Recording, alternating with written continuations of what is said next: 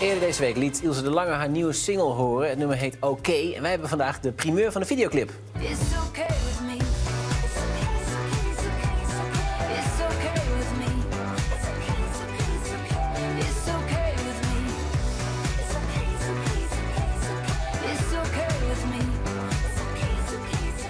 Lekker liedje. In september gaat Ilse toeren door Nederland. Nu vliegen ze eerst terug naar Amerika voor de opnames van de tv-serie Nashville.